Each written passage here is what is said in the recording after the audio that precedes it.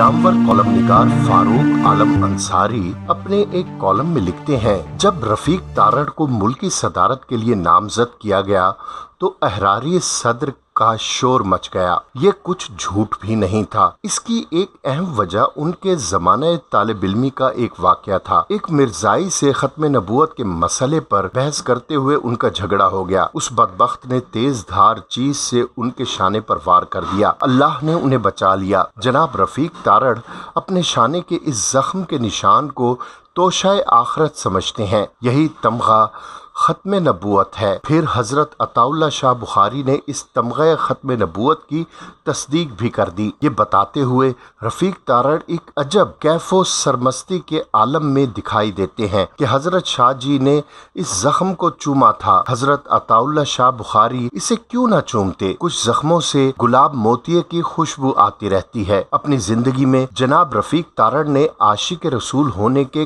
कई सबूत बहम पहुँचाए। मिर्जाई सर जफरुल्ला खान तारीख पाकिस्तान का एक अजब किरदार है। वो हज़रत कायद आज़म के जनाजे में शरीक नहीं हुआ था। नमाज़ जनाजा पढ़ने वालों से वहीं जरा परे होकर खड़ा रहा। दीदा दलेरी का ये आलम के कहने लगा, आप मुझे एक मुस्लिम रियासत का गैर मुस्लिम वज़ीर खारजा समझ लें या फिर किसी गैर मुस्लिम रियासत का मुस्लिम वज़ीर खारजा। बाद में वो आलमी अदालत का जज भी मुकर हुआ। उसके इंतकाल पर लाहौर हाई कोर्ट के चीफ जस्टिस की जेर सदारत, जज साहिबान की एडमिनिस्ट्रेशन कमेटी के इजलास में आजहानी के लिए फुल कोर्ट रेफरेंस का मामला जेर गौर आया। जनाब रफीक तारड़ उस जमाने में लाहौर हाई कोर्ट के जज थे। इस मौके पर उन्होंने बाकी जजों को ये याद दिलाया कि उसने हज़रत कायद आज़म का जनाजा नहीं पढ़ा था। इसलिए एक इस्लामी मुल्क में उसका फुल कोर्ट रेफरेंस बेहमीती होगा। जब दूसरी जानब से फुल कोर्ट रेफरेंस के लिए इसरार बढ़ा तो उस महजब इंसान के सरापे से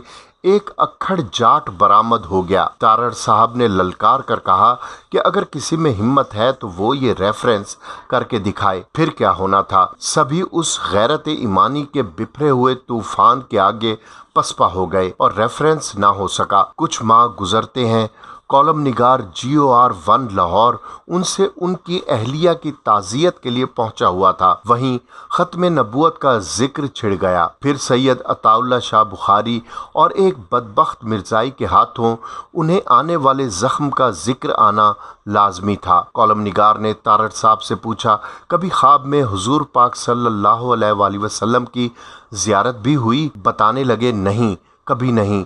फिर उन्होंने अपनी बात यूँ मुकम्मल की, इस मामले में झूठ बोलना गुनाह कबीरा है, इसकी मुआफ़ी कभी नहीं होगी। कॉलम निगार को उनका पोता बिलाल फारूक एमपीए उनके बेडरूम में ले गया था कि आपसे मिलकर उनकी तबीयत बहल जाती है। फिर लंबी नशिस्त रही, देर तक गुफ्तगु का सिलसिला चलता रहा।